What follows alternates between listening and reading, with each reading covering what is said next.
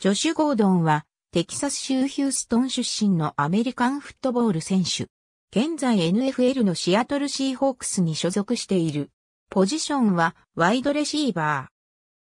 高校2年時に19回のレシーブで363ヤードを獲得し 4TD。3年時には25回のレシーブで531ヤードを獲得 9TD を挙げた。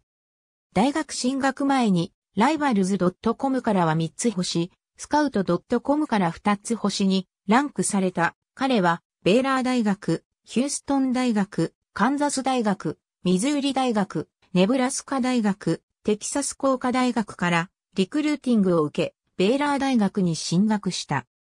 2年時の2010年に42回のレシーブで714ヤードを獲得 7TD を上げたが、10月にチームメイトのジェファーソンと共に、地元のタコベルのドライブスルーで眠っているところを発見され、警察の調べにより、ジェファーソンの車からマリファナが見つかったことから、二度目の違反であったジェファーソンは追放され、ゴードンも出場停止処分を受けた。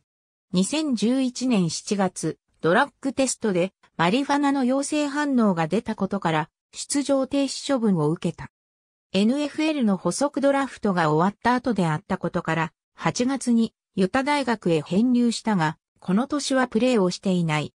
2012年の補足ドラフトで、クリーブランド・ブラウンズから2巡で指名され、7月16日、4年間530万ドルで契約を結んだ。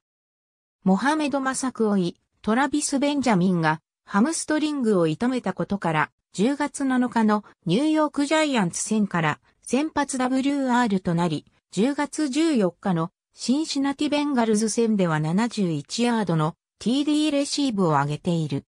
最終週のピッツバーグスティーラーズ戦では第2球にボールをファンブル、このプレーで足首を負傷した。2013年6月7日、薬物規定違反により NFL から2試合の出場停止処分を受けた。第12週のピッツバーグスティーラーズ戦で237ヤードを獲得。第13週のジャクソンビルジャガーズ戦では10回のレシーブで261ヤードを獲得。NFL 史上初の2試合連続で200ヤード以上をレシーブで獲得した選手となった。第16週のニューヨークジェッツ戦では新人 CBD ミルナーに封じられた。この年、87回のレシーブで1646ヤード、9TD を上げて、プロボールに選出された。2014年7月5日、ノースカロライナ州ローリーで飲酒運転により逮捕された。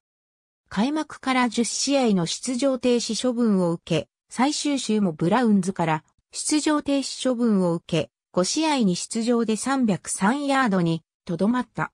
2015年2月3日、薬物規定違反で NFL から1年以上の出場停止処分を受けた。2018年9月17日にドラフト指名権とのトレードでニューイングランドペートリオッツに移籍した。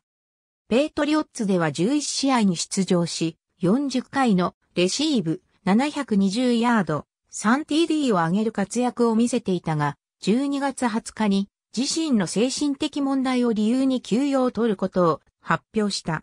なお、この後に、球団から薬物規定違反による出場停止処分がゴードンに課されていたことが発表された。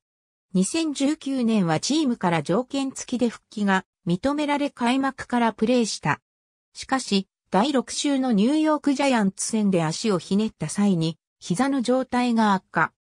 負傷者リスト入りすると、アトランタファルコンズからモハメド・サヌーを獲得した影響もあり、そのままリリースされた。ペイトリオッツからリリースされた翌日、シアトルシーホークスが獲得したと報じられる。シーホークスでは5試合に出場していたが、12月16日にパフォーマンス向上薬と薬物乱用に関する NFL の指針に違反したことにより再び無期限の出場停止処分を課された。ゴードンに対し出場停止処分が下されるのはこれで5度目となる。長身を活かしたボール保持能力とスピードを持っている。またランアフターキャッチでも活躍できる。ありがとうございます。